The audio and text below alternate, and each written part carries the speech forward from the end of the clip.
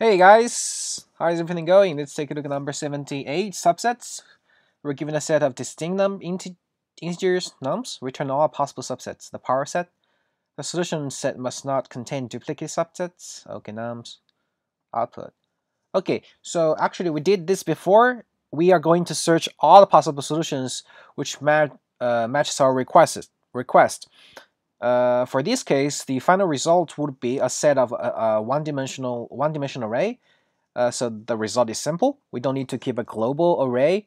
We just pass down uh, the temporary result together with our recursion functions, right? We just basically we have two parameters. The first one is the the temporary result. The next one is possible new digits. So we just pick one from the uh, the, the, the, the, available digits and put it to the temporary result, and that is one, our, one of our subsets.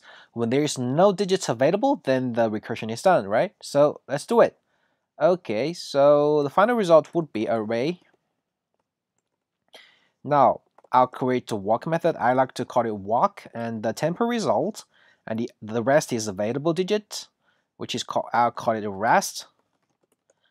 Okay, uh, when we are when we are done with the walk method, we will walk the temporary. The first one would be empty, right?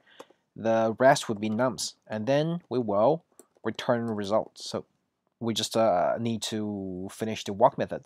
So for every walk, it is a possible subset. So result push temp. And now what we did is uh, need to pick one from the rest then go on, right? So for let i 0 i smaller than rest.length, we will walk the new temp. Temp will be concat concatenation concat concat uh, rest i. The rest would be uh, the rest would be okay. We need to uh, keep it from duplicates. We we we would pick the number, uh, keep the numbers after right. After them is available. If I pick now, we have picked two. Then one would not be editable because it is already traversed by when we pick one. So we only pick numbers after them. So it would be rest slice i plus one, and uh, it should be done. Let's say the time.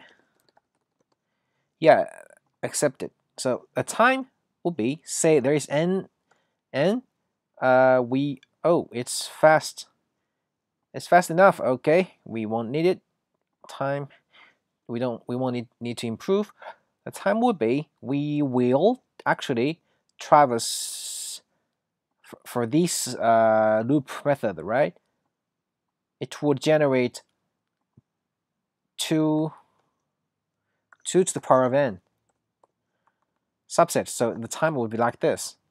The space also, yeah, space 2. Actually, for this problem, we can do some in, in, uh, in, improvement. You see that we slice, right? We only do the slice here actually we can reduce the use of the slice method. We can just say the start index, right?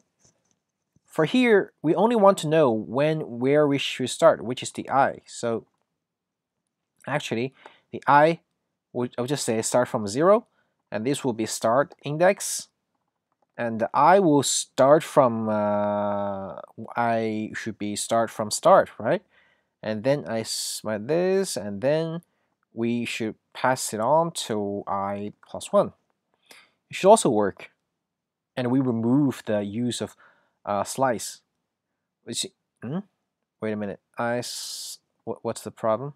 Rest is not defined. Oh, my bad. It should be nums. Nums. So here, uh, for array uh, manipulation in JavaScript, we can use a slice. We can avoid, but in in uh, in C or C++, I don't know, maybe it should be counted as extra uh, cost.